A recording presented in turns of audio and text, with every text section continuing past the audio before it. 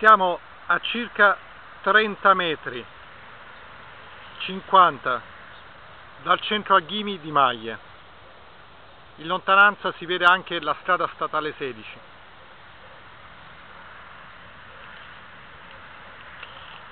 Tra i rifiuti che possiamo incontrare riscontriamo fusti di palma abbattuti per la presenza del punteruolo rosso.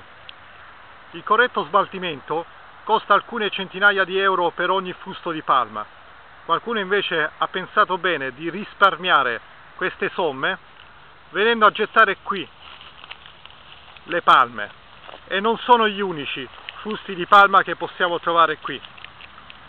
Intanto, percorrendo questo luogo sulla direttrice dell'antica strada per Morigino, da Maglia a Morigino, notiamo ancora altri rifiuti. Questi sono cocci di vetro e poi troviamo tracce anche di pneumatici bruciati qui nelle campagne disperdendo sostanze tossiche.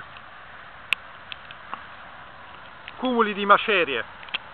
Non so se queste immagini riescono a rendere l'idea perché sono anche mimetizzati dall'erba che nel frattempo è cresciuta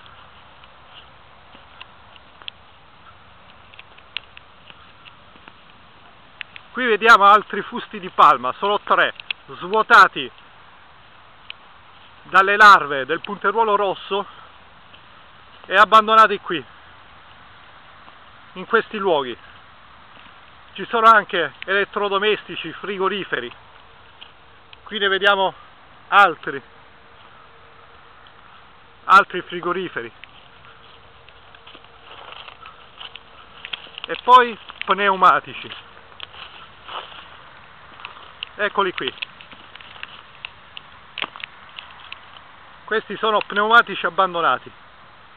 Ma proseguiremo. Oltre questa strada andremo ancora percorreremo un tratto di 400 metri fino alla Copersalento in direzione nord e vedremo cos'altro è stato abbandonato in questi luoghi